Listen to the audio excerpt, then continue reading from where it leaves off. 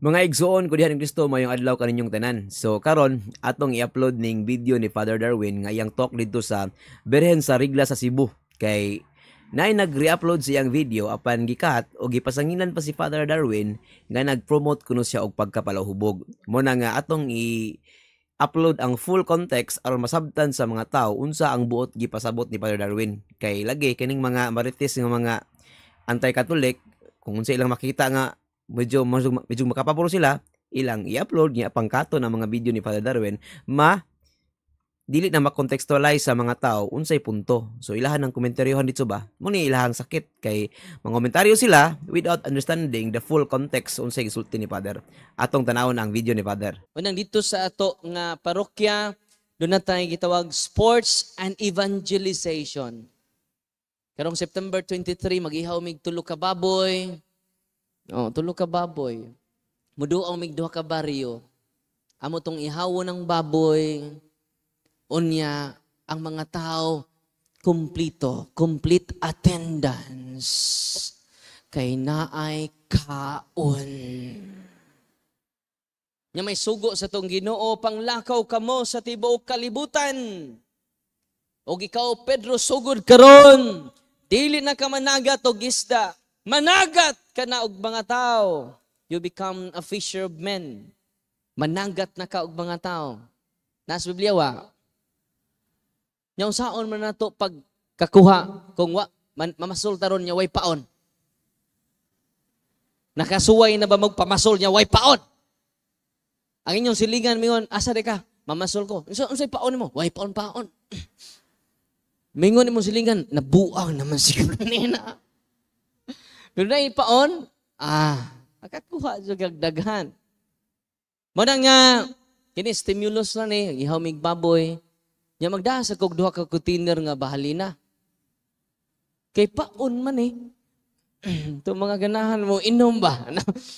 Ah, gamay ra nang ako ah, kay ka Kristo tadyaw man jud to. Ang kuwang ra ako ah, kay duha ra man ka container. ang ka Kristo tinadyaw to. Kung ako ma, ma, malipat mga pito to katadyaw, nya dito misulilan, kay ba mo ang tadyaw mas taas pa nako. Ang usa ka tadyaw, uy, kadako pa ning tadyawan eh. Dito sa kasal skana ba? Dako kay tadyaw dito. Di po dako magakos. Una nga kining akong duha ka container to ba, kuwang ranis kang Kristo kay mga pito man jud to katadyaw. Grabe tos Kristo mo painom oy. Nya kung protestante po tos Kristo wa jud toy bino, juice to, tang. Nya katoliko man si Kristo. Morang katoliko panahos kasal daghan kay inom. Ah, kanang inyong ininom inimnan gamay ra na. Tadyaw man to ka Kristo. Manang Mingaw pong kasal kung way inom, no? Mingaw, no? Muna si Kristo, nahutan na guto. Sa ito pa nangahupog, dan juto kay nahurot naman. Kung ingon pa to, kung pastor pa to si Kristo, ayaw na, oy. Maghimo-himo, matag milagro, Mama Mary. Ayaw na, oy. Nangahubog na na sila, oh. Si Mama Mary may nihangyo. Ah, unsay isugo sa kong anak, ha? Tumana, jod. Jawar pa, jod mo, abot ako panahon. Pero si Mama Mary may nihangyo, ang berhin sa rigla may nihangyo. Masay na itabo. Ate Nadiyaw, eh. Atong pakpakan na ito, Gino. Muna imong gihimo dito, as sports and evangelization, alas 4, magbisan ako. Daghan na kayong mga tao. Alas 5, uh, praise and worship sa mga charismatic. Kung doon ay disco ang kalibutan, din ni disco ato ah. Diyos ko ni. Sa sayaw o mga katauhan sa Diyos ito, pero lingangwa. Every month man na mo buhaton. Unya, human sa praise and worship sa mga charismatic, mo evangelize din ko.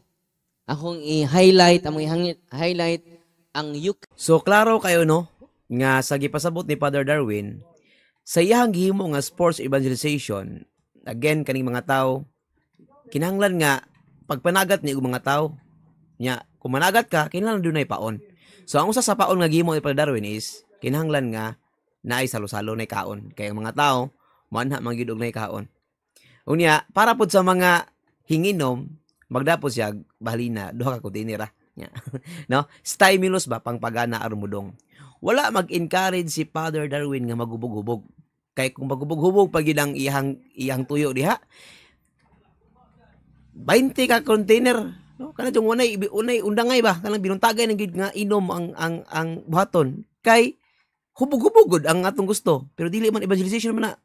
Paon na na stimulus pang pa ganar na sa mga tao aron mo dungha kay kung makatungha na sila dito masangyawan na sila sa pagtuong katoliko. Ingon ana ba? Pero wa mag-encourage si Father Darwin nga maghubog-hubog ang mga katoliko anang panahon na.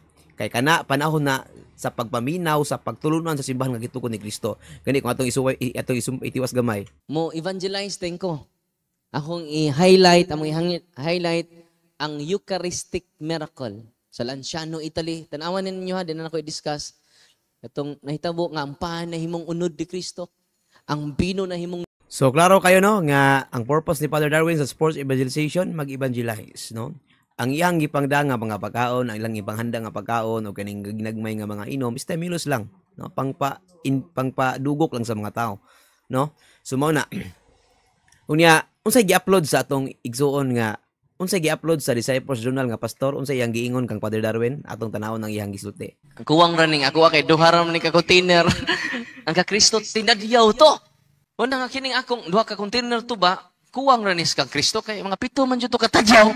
Sakit hunahunaon nga yano na lang kini masulti sa ubang mga religious leader nga si Kristo pa ang nahimong hinungdan nga nahimong practice karon sa mga katawhan ang pag-inom ug paghubog-hubog nga ila pang gihimong hinungdan si Kristo Jesus para pag-justify sa ilang kauglingong mga sala.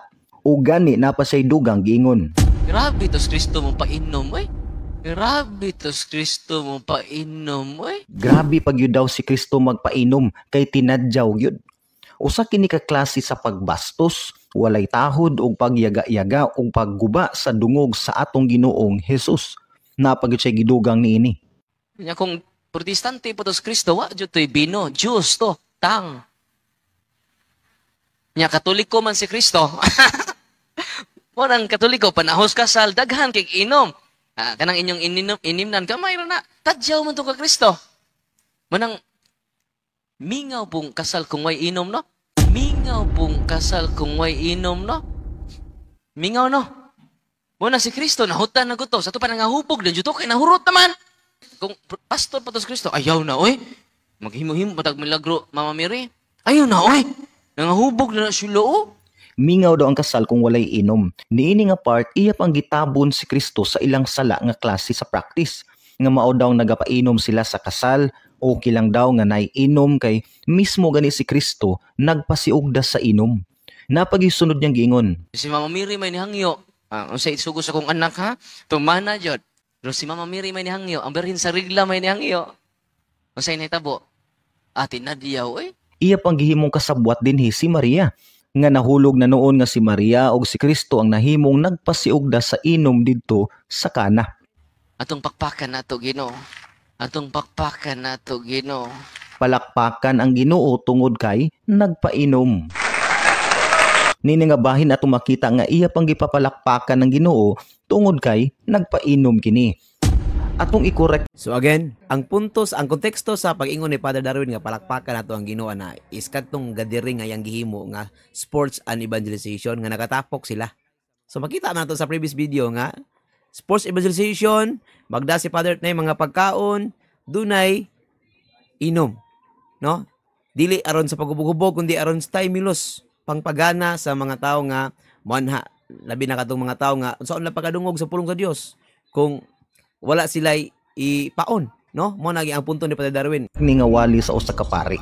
Ang tinuod wala nagpainom ang atong Ginoong Hesus dito sa kana nga diin iyang gihimong bino ang usa ka tubig.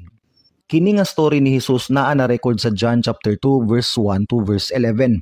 Nagisgot kini sa usa ka invitation nga nadawat sa naman atong painom Ginoong si Hesus Kristo. para sa usa ka kasal. Pero sa dihang nahutdan na og wine o kining bino ang okasyon, miduol ang sulugoon kang Maria o gipasa pod ni Maria ngadto kang Hesus.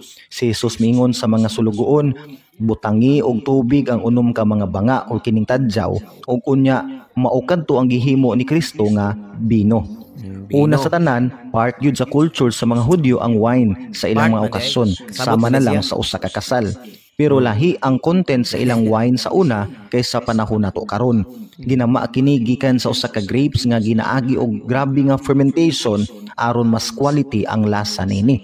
Same Pero ginagamit nila ang wine sa una, una sa tanan, dili para sa paghubog-hubog, kundi dili para sa usa ka special nga okasyon, health purposes ug nag-serve sa ni as drink or kategory sa soft drink sa atong panahon karon. Pero makahubog gihapon ang wine nila sa una kung imo ning pasubraan.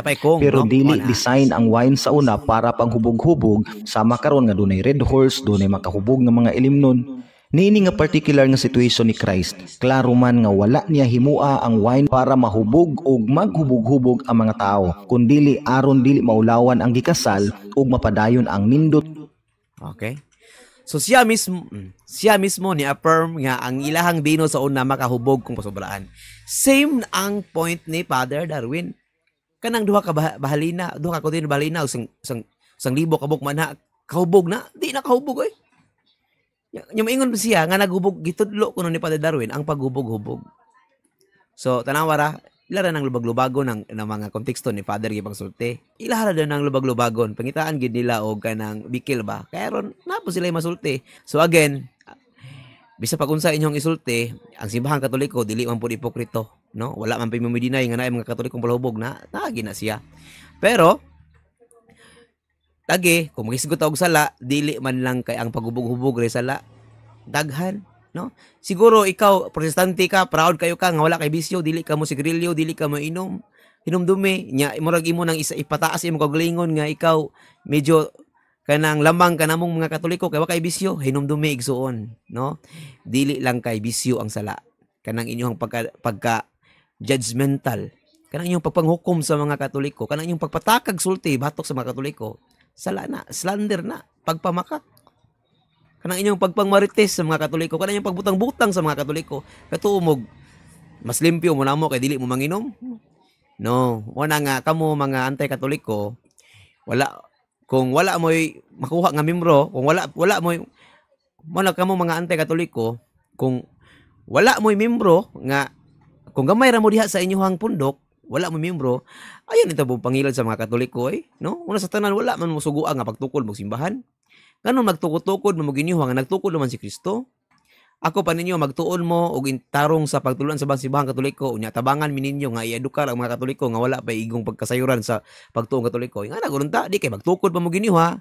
Unya ako man problema mong membro sa katoliko mo manguhag membro So mo na inauton ta nga nasabta na ninyo. No again sa mga mag nagre-upload ayaw mong salig aning mga tao nga putol-putolon bitaw ang video ni Father Darwin nga dili pag ang pagputol okay lang tag ang pagputol gi-contextualize na.